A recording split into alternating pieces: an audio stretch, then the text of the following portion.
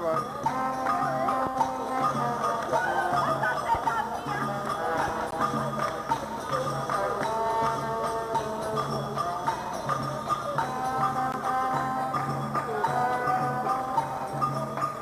Não quer gravar perto aí, não.